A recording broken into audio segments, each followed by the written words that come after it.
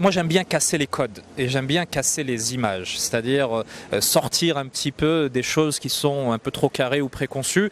Et l'idée, c'était de, montrer à l'origine, quand j'ai fait ces chroniques, euh, elles ont vraiment quelque chose de magique. À l'origine, c'était de sortir du studio du journal télévisé. Et euh, ce que ça fait quand même maintenant plus de 10 ans, ça fait 11 ans presque que je présente le journal télévisé, donc l'image que le public avait de moi, c'est celle du présentateur assis derrière son bureau. Donc j'ai fait de la radio et j'ai surtout voulu montrer à travers le style d'écriture que j'employais dans ces chroniques radio euh, que voilà, j'avais d'autres goûts pour le journalisme et d'autres euh, d'autres sensibilités. Et puis, quand j'ai fait la radio, j'ai dit, bah tiens, quitte à sortir d'un cadre, je vais sortir complètement et quitter la télévision pour aller sur une scène.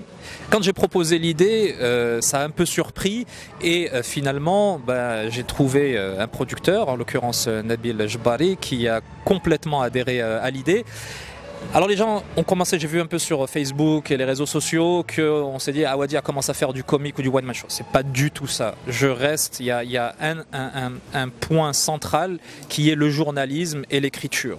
et tout ce que je fais dorénavant tourne autour de cela. En fait, quand je suis sur scène, je suis sur scène pour lire des chroniques que j'ai écrites à l'origine pour, euh, pour la radio. J'y agrémente certes un peu de musique, quelques projections, vous verrez, il y a quelques petites, euh, petites surprises, euh, mais l'élément reste ce qui fait mon cœur de métier et ma passion, c'est-à-dire le journalisme.